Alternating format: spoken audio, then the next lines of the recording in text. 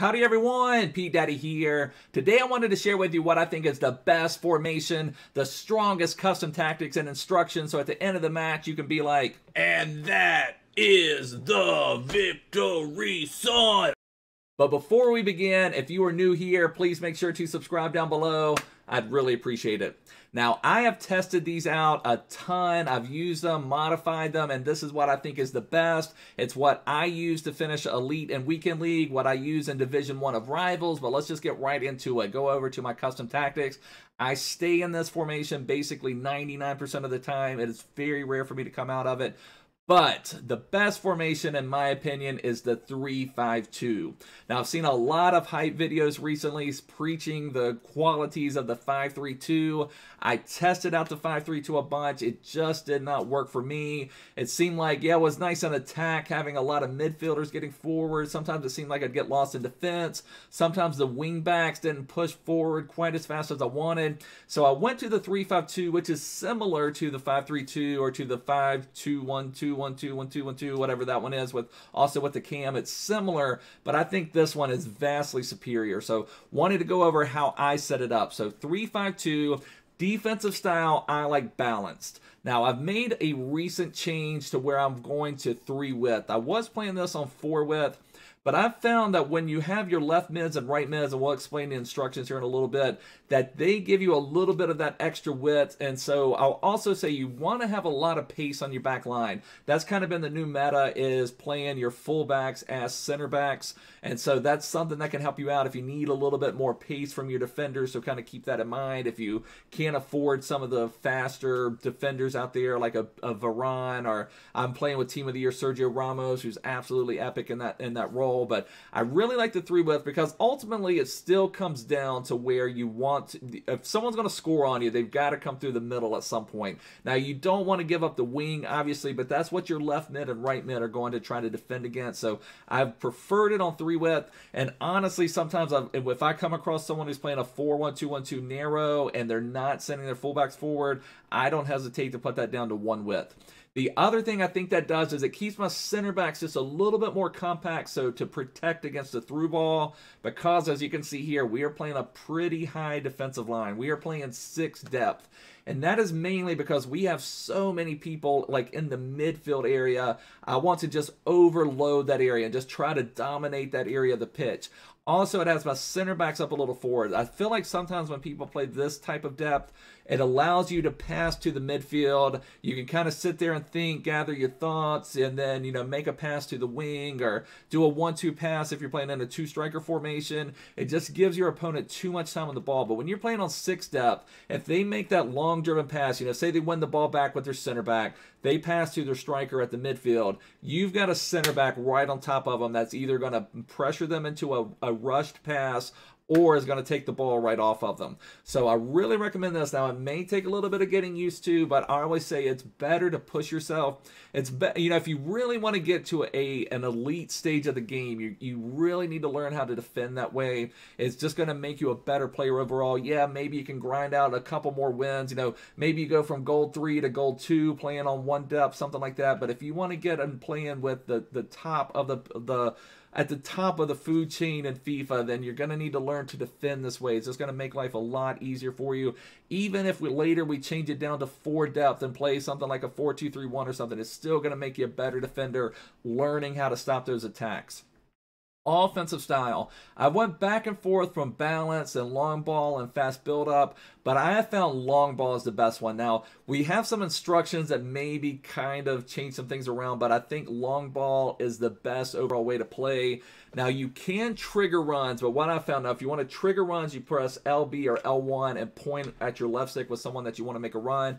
But sometimes when you're in that heat of the battle, when you've got so many people congested either near the box or at the midfield area, sometimes you just need that extra boost to get them to make that run for you. So I've really liked long ball as the custom tactic.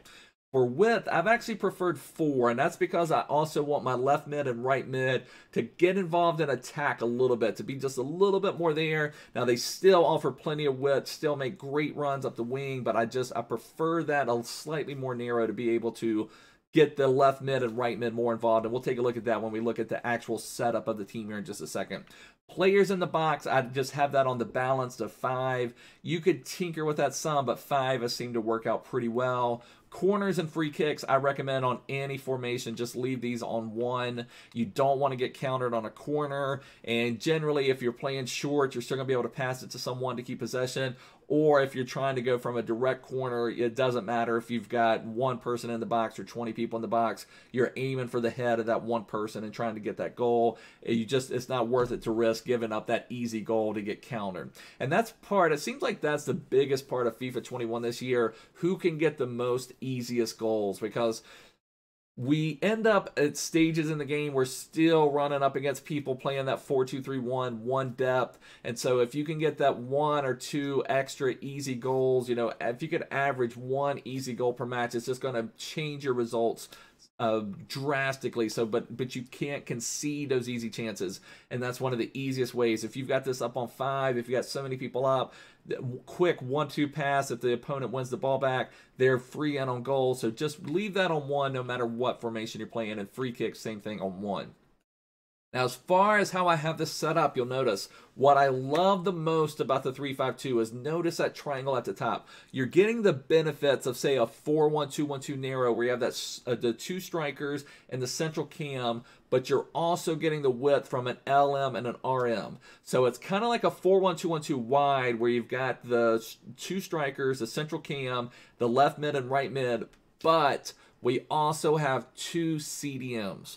So that's I think what just kind of helps you overload everything. And notice just kind of in the midfield, as like it says, three five two. We've got five guys in the midfield. We've got Dybala as a left mid, Neymar as a central cams, Zambrotta as a right mid, Bruno Guimaraes and Kulusevski all in the midfield. So we're playing that higher depth. We just want to overload them in the midfield. If we uh, give up the ball, we want one of our midfielders to kind of be in that area to win the ball back, maybe go back on a counter attack and get that easy goal that's going to help you.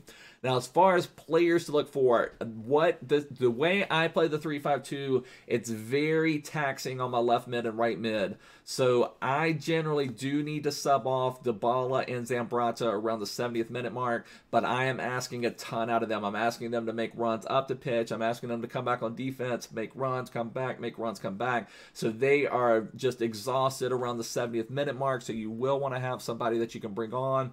I recommend having your right footed player making runs up the right so that way they can either make crosses in, they can do that shot across goal. They're just I just prefer my right footed player to be on the right this year and Dybala, my left footed player, I prefer him to be on the left. So if you've got a left footed player you can put on the left, that is nice. So like even that Estupiñán card, if you've got Ferland Mendy, if you've got Theo Hernandez, they would also be fine as a left mid.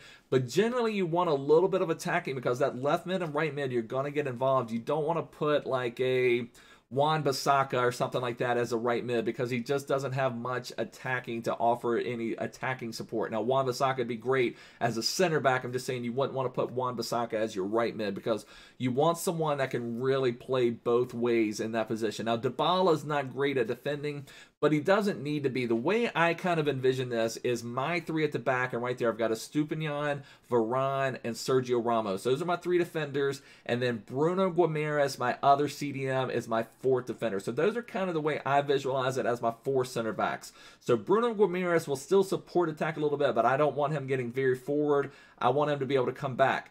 But also, Dybala and Zambrotta are going to come back that gives me another defender. Kulusevski is also structured as a CDM. So you just end up with a lot of overwhelming stuff you can do as a uh, in, in the defensive side of the ball. So for example, if the ball is pushing forward and I give up the ball, then my Zambrotta, my Bruno Guimaraes, my Kulusevski, and my three center backs are all going to be on, on defense. So that's going to give me six defenders still, even if I give up the ball with the ball. So that's it's just one of the great things about this formation. You can just really overwhelm some opponents. And as far as how you should set up your center backs, the way I like to think of it, you want your slowest defender as your central center back, or kind of your rock defender. Now, Varane is medium high work rates. So I want my central center back to be back there just to protect the left, protect the right, protect anything else that maybe will get through. On the left, I have a Estupiñán because he is a left-footed player. So sometimes a Estupiñán may drift out a little bit almost to a left-back position and make that pass up the wing to Dybala. Same thing with Sergio Ramos. You want your right-footed player on the right. So Sergio Ramos may drift to the right, make that pass up the wing to, to Zambrotta. So you want your right-footed player at right center back, if, if possible. I mean, it's not the end of the world. They don't fully function like right backs, but there are times when you want to get back to them. Treat them kind of like a right back to where they can make that pass up the wing.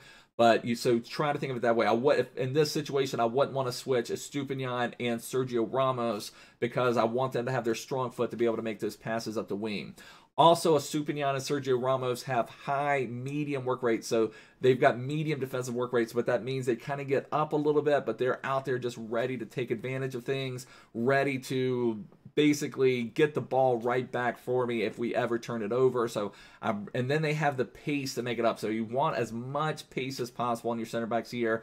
Again, like I mentioned, the meta right now is kind of for your fullbacks to play as center back. So I highly recommend getting as much pace as possible. And you'll notice there, it's kind of a untraditional thing. I've got Kulusevski as my other CDM. Again, like I mentioned, I look at this as my three center backs plus Bruno Guimaraes are my back four. So I can sacrifice someone like Kulusevski. Now, Kulusevski's physical, so he still has, has a bit of an imposing presence, but he's more of an attacker. So I like having that. So you don't need, in my opinion, you don't need Bruno Guimaraes plus Kanté. You don't need Vieira plus uh, plus Gattuso, you know, I'm just saying you don't need like pure CDM CDMs. You need one really great ball winner CDM, and then you can just have somebody that's more of an attacker in that other CDM role just to help you support the attack. But it is nice. Kulusevski is physical, so he does offer a bit of an imposing presence on that. But get over to the instructions on my two strikers. I have them both on Stay Central get in behind and stay forward. Now, the get in behind instruction is maybe overridden by the long ball, but I still prefer having it on get in behind because that's what we ultimately want. We want our back three, we want our midfielders or CDMs winning the ball back, we want our strikers making runs, we want to break out in a hurry, we want to try to get that easy goal. And again, like I said, if you can get those easy goals, that makes a huge difference in the game. You're going to see a big difference in your results if you can start getting that one or two easy goals per match. So stay, and I also want my two strikers on stay forward. So both the strikers are mirrored. Stay central, get in behind, and stay forward. I want my strikers up there. So if I win the ball back at center back, I'm looking to see, I'm looking at my radar. I'm looking to see if I can get that pass outlet out to my strikers. If not, this is what I think makes the 3-5-2 superior to some of the other ones, uh, or superior to the 5-3-2. If you play the 5-1-2-1-2, you've got something like that, or 5-2-1-2-1-2, uh, whatever it is, one that's got the, the central cam. But Neymar as a central cam is going to help link that up. And the 5-3-2, you've just kind of got those three midfielders, and you don't necessarily have a link up option, which is one problem I had with it.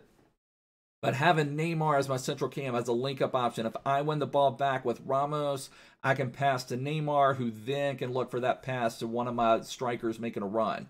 But as far as instructions go, I have Neymar on completely balanced. I want him to get forward. I want him to come back. I want him to do whatever he thinks he needs to do based on the game. So he seems to be back defensively when I need him. He's always involved in attack. He's making great passes. So you really want your playmaker playing in the central cam. You want your strikers to be pretty quick because we want those getting behind. We want those through balls. We want to be able to quickly get by our defenders and get those easy goals.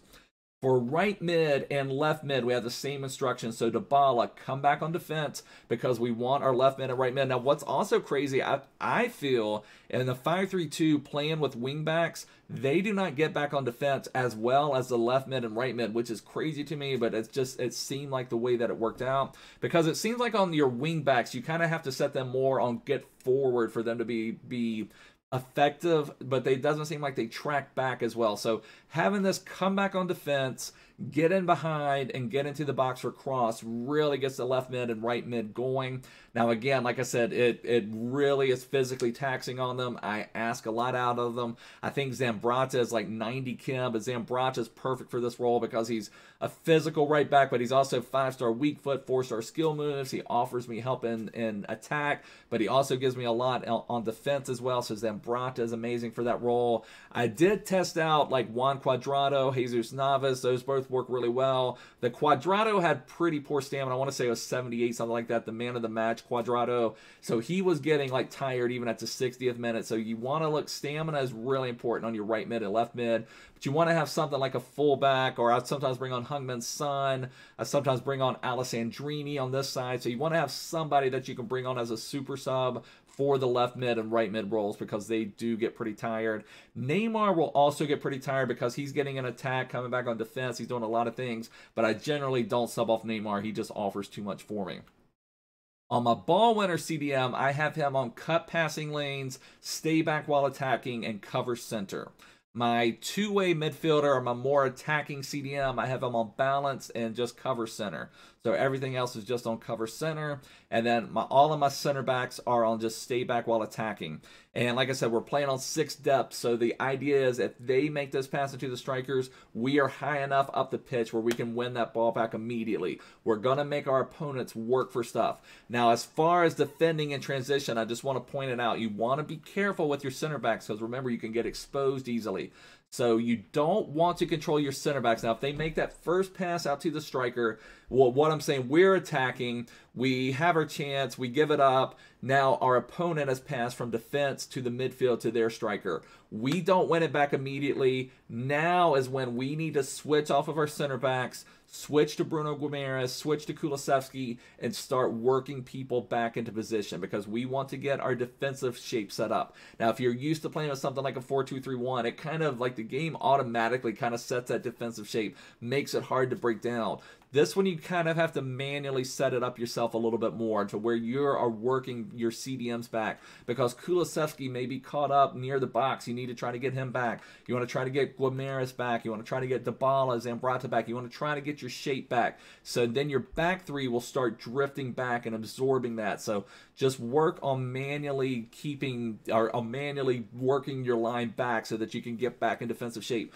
Once you're in defensive shape, I will say I think this 3-5-2 is as hard to break down even on 6 depth as a 4-2-3-1 on 1 depth. You just end up with so many people back. Neymar will come back, Dybala comes back, Zambrotta comes back, so you, you it ends up with a back 5 plus you have two CDMs, plus you have Neymar defending. Now that's once if someone's kind of passing around trying to get it set up, you end up like it, like I said, it ends up just as hard to break down in my opinion as a 4-2-3-1 on one depth. Plus, as soon as you win the ball back, we are breaking out. is breaking out. is breaking out. We've got Neymar linking up play. Kulusevski's trying to get involved. Our two strikers are running out. So we are just on the ball. We are running out, trying to counter, trying to get things going. But it's just, it's a really nice formation. Leads to a lot of easy goals still can keep your shape defensively. You may have to put a little bit more manual work, but if you have any questions, leave me a comment down below. If you're new here, make sure to subscribe, check the description, join my Discord server, follow me on Twitter, all that good stuff. But I will see you guys soon. Take care. Bye.